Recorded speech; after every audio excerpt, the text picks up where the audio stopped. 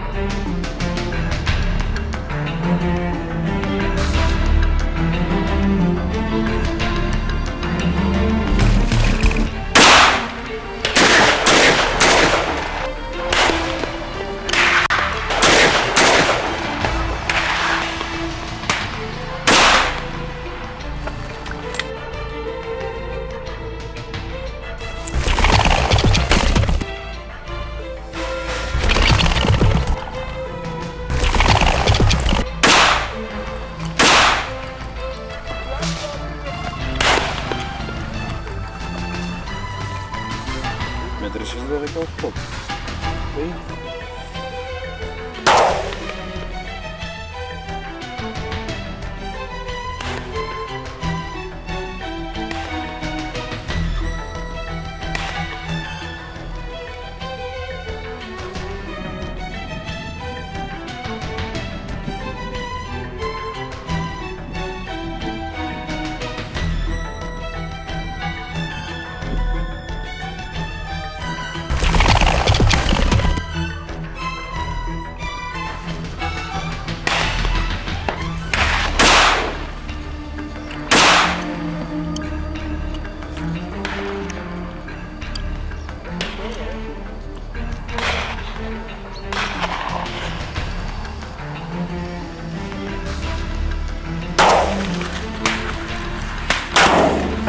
Δεν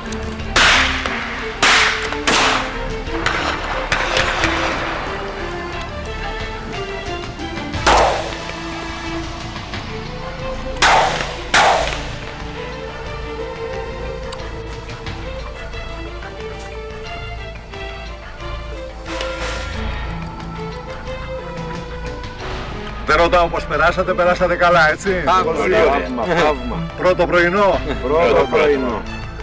Είστε ευχαριστημένοι; Πάρα πολύ. Το περιμένατε έτσι; Όχι, δεν το Όχι, όχι. Το διασκεδάσαμε και πότε. Ωραία, άξιζε το ταξίδι από την Κύπρο; Οπωσδήποτε άξιζε. Ωραία, σας ξαναπεριμένουμε. Ναι. Θα ξανάρθω. Πρώτο πρωινό είναι, έτσι; Πρώτο Έχουμε πρωινό. ακόμα συνέχεια. Ναι, έγινε.